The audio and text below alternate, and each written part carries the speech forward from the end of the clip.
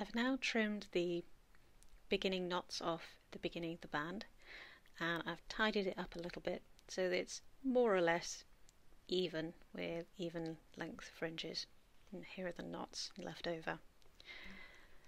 I want to try to make sure that the fringe on the other end is reasonably similar. So I'll carefully measure the cut end against the end here.